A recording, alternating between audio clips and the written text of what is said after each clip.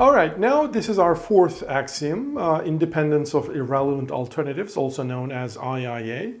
Uh, I'll give you the uh, intuitive uh, description and then the formal description. And then I'm going to talk about a, an example uh, where plurality rule, for example, violates this assumption. Uh, well, the IIA basically assumes the following. If an alternative, a candidate X, is the winner uh, from the set of candidates Y, well, then it should still be the winner if we reduce this uh, set of candidates from Y to Y prime by dropping some unelected candidates or irrelevant candidates. All right? Uh, so, uh, what is the formal description? So, for any preference profile, small u, on our restricted domain U, and for any subset of X, Y, uh, if uh, the candidate X is chosen at that uh, profile uh, while the set of uh, available candidates was Y. And if we consider another uh, set of candidates, Y prime, where X is still in the set, obviously, um, but Y prime is a subset of Y, well then X should still be elected. So it is intuitive because in the sense that according to this voting rule, X, uh, I'm sorry, the candidate X beats all the other candidates. So we are shrinking this set of candidates. So that means X still should be beating all the other candidates according to this voting rule, right? Uh, so that's the idea. So it makes sense. Uh, but nevertheless, it's not, um, you know, it's, it's, it's uh, widely um, criticized assumption because it's a strong one. Well, why is that so? Well, because uh, this assumption, this axiom is, for example, violated by plurality, runoff voting, rank order voting, or the Borda count. It is, uh, however, satisfied by majority approval voting and, and range voting. Uh, well, uh, well, why is that? I mean, there is nevertheless a reasonable and, and, and sound defense behind this axiom because if the voting rule violates this axiom, uh, we actually can observe a situation which is called vote splitting. And, and this example is actually from a real of uh, uh, election data. Um, I'm not going to say who was the who were the candidates, but imagine a profile where 40% of the population voted, I'm sorry, uh, ranked A over B and B over C, okay? And then 35% of the population ranked over uh, ranked C top, B second, A uh, third, and then only 25% of the population ranked B first, C second, and A third. Let's suppose. And our a voting rule is plurality. Well, according to plurality, here the winner is going to be A, right? So the winner is A. Well, why is that? Well, remember plurality is the well, the candidate who gets the highest vote. So here 40% of the voters are going to vote for A. Remember, we do we ignore strategic voting. So we assume that these are true preferences and everybody is going to vote for his or her top choice, top alternative on their plurality rule.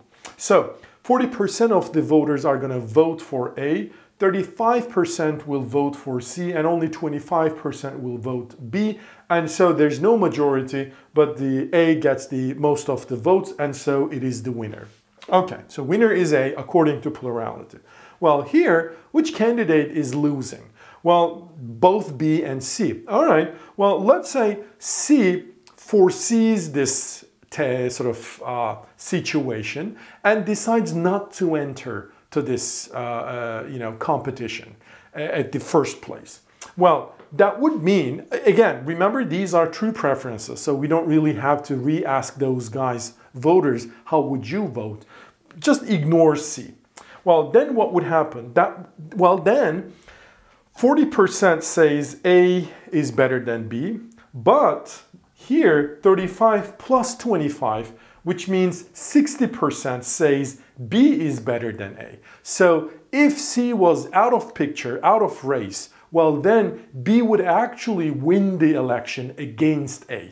All right? So if C is eliminated, then uh, B would win. All right? What does that mean? That means f of uh, u, y is equal to A. All right? However, f of u, the same preference profile, y prime is equal to b, where y is the set, all a, b, and c are present, and here y prime is the set, only a and b. You see what I mean? Well, what about if we drop B from the picture? Well, the same thing. If B is out of picture, 40% uh, of the voters are going to vote for A. However, uh, as you see, C is better than A. 60% of the voters are going to vote for uh, C. So C would win.